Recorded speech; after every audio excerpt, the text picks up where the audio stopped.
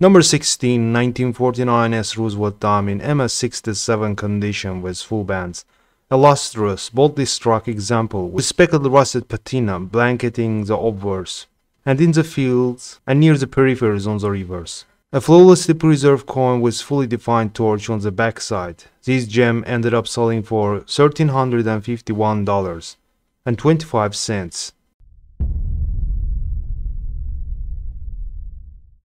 Number 15, 1936 D Washington Quarter in MS66 condition. A dusting of silvery iridescence greets the viewer from the both sides of this lustrous and smooth upper end example.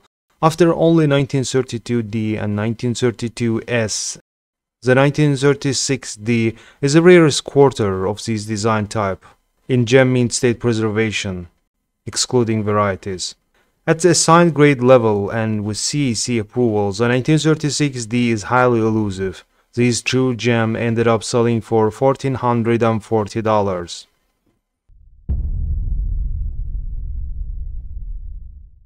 Number 14, 1997D Jefferson Nickel in MS67 condition with full steps. According to NGC price guide, as of July 2023, a Jefferson nickel from 1997 in circulated condition is worth between 10 cents and 20 cents. However, in higher mint conditions, it sometimes command nice premiums. For example, this gem was bargained for $2,025 with buyer's fee at Great Collections auction. Number 13, yet another nickel, 1942 Jefferson 5 cent piece in MS68 condition with 5 full steps. All 1942 D. Jefferson nickels were struck before the transition to the silver alloy used for much of World War II. Examples are plentiful overall, but registry grade coins are rare.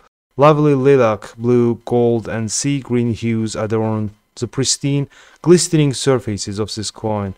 This attractively toned gem fetched a sum of $2,640 on July 21, 2023.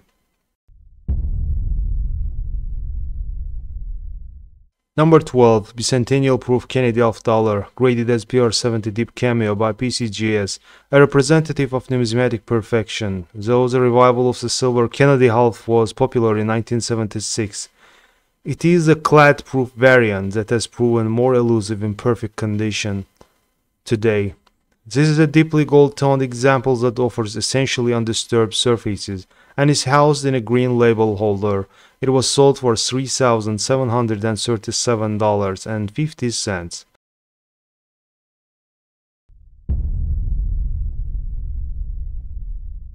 Number 11, here is 2004P Texas State Quarter in MS69 condition. Reaching threshold of numismatic perfection, it lacks just one point of approaching highest grade possible. According to NGC price guide, as of July 2023, a state quarter from 2004 in circulated condition is worth between 30 cents and 40 cents. However, on an open market, 2000p quarters in pristine uncirculated condition sell for as much as $3,500. However, this gem brought a huge premium to its owner. It was sold for $4,050 with buyer's fee.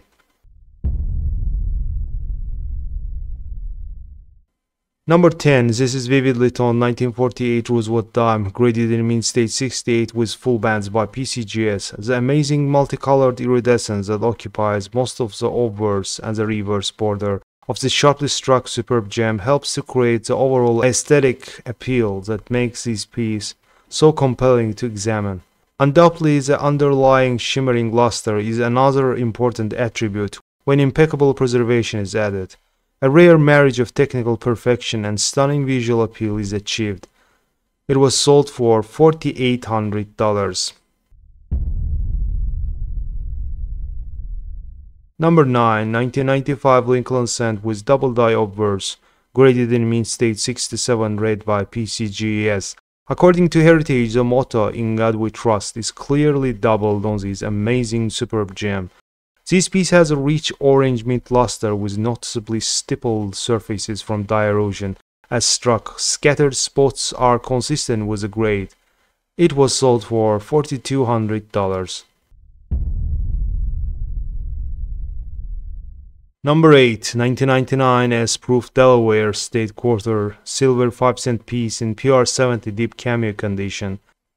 PR stands for proof, indicating that it is a specially produced coin with high quality strike and finish. The grade of 70 is the highest possible grade on the Sheldon numeric grading scale, indicating a coin in perfect condition with no visible flaws.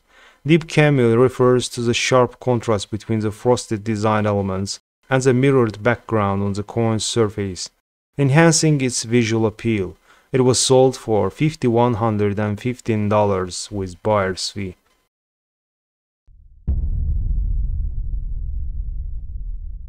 Number 7. Up next is his 1915 D Lincoln Cent in MS66 red condition, an outstanding example of this early Denver Mint issue, with remarkably crisp definition on even the most minute details of the obverse and reverse motifs, bright and satiny with lovely mint red toning and mark-free surfaces. It fetched the sum of $6,198.13 at auction. Number 6, 1955 D Jefferson Nickel in MS66 condition with full steps designation. According to NGC, the 1955 D nickel is generally superior to its Philadelphia mint cousin, but that's about the only nice thing that can be said. Many were coined from worn dies, though they typically have better luster and more pleasing planchets than 1955p nickels. Coins with 5 full steps are very scarce and 6 full steps examples are exceedingly rare. This gem was sold for $11,812.50 with buyer's fee.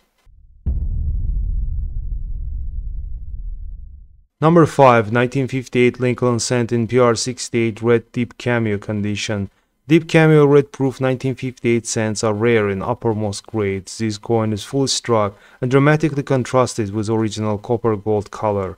The surfaces are carbon free and unblemished. It was sold for $12,337.50.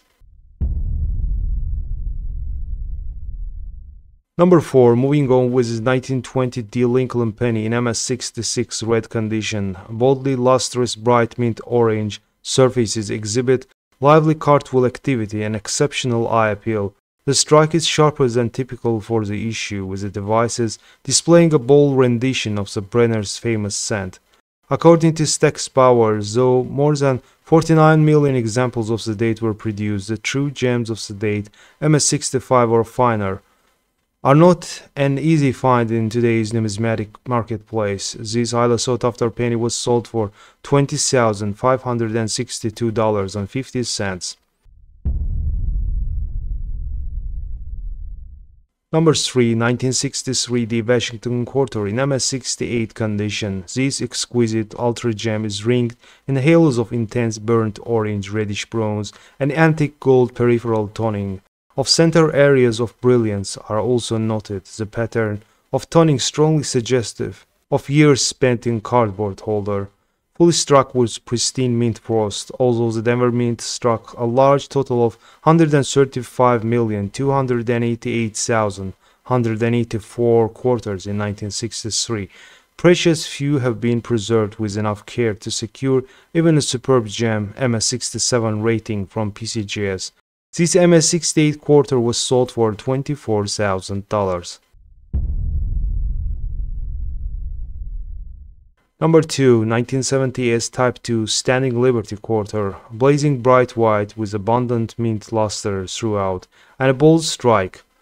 The surfaces are exceptional for these or any date, and are delight to examine as, as the luster is virtually unbroken by any contact and the coin is brilliant save for a hint of peach gold.